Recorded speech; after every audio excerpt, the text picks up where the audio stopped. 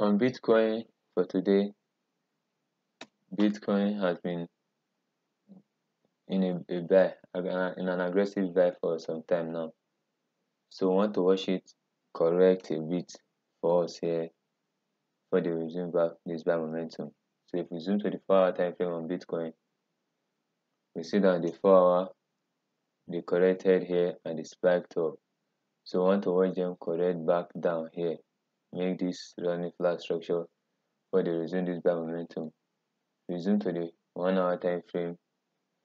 You see that they can they can drop to this trend line, make this small running flat, retest this top before they break down for us to give us this correction and then take off or they'll start with that correction right now and then take off for us. You have to watch out for those two. One of these two play out today.